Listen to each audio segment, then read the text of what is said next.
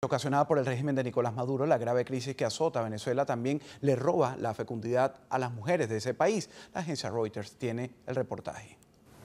Con apenas 25 años, Rosmin llega a esta consulta para esterilizarse. No puede pagar los métodos anticonceptivos que muchas veces ni siquiera encuentra. Está muy difícil conseguir los métodos anticonceptivos. Ni tampoco mantener otro hijo. Lo de la situación, que ya para qué vamos a tener un niño ahorita, lo vamos a traer a pasar trabajo. En otros casos, como han denunciado varios organismos médicos, las pastillas que reparte el Estado no funcionan. Llega un momento que uno se toma cualquier clase de pastilla, en realidad.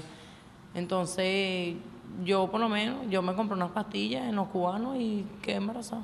Cada vez más venezolanas y a menor edad optan por la esterilización. Cuesta 15 salarios mínimos, pero a la larga aseguran que sale más rentable.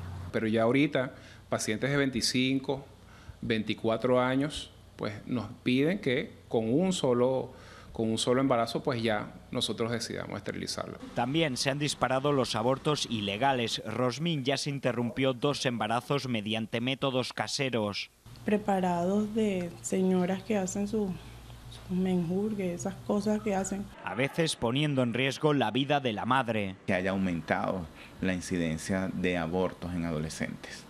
Eh, generalmente abortos clandestinos, por supuesto, con métodos absolutamente cruentos desde eh, la utilización de lavados eh, con sustancias cáusticas como jabón. Con dos hijos, esta joven ya no puede arriesgarse a tener otro para sufrir. La decisión es dolorosa. Hemos pasado muchas calamidades en cuanto al alimento.